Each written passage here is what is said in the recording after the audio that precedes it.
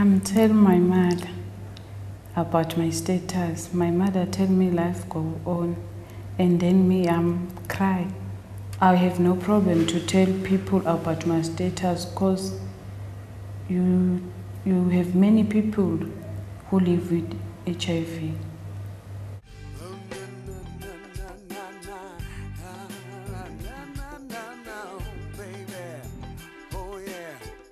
I want to tell young people if you have you have go to check your status.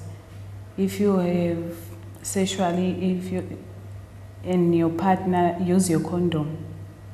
Don't discriminate a person who live with HIV AIDS in their family and communities. I didn't want children because of my status. I don't want children.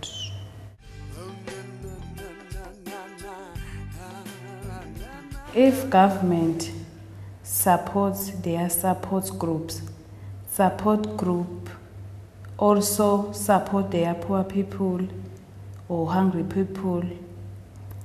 Government help people about ARVs. I'm Nondobe Gonzinisa. I'm live in Swaziland.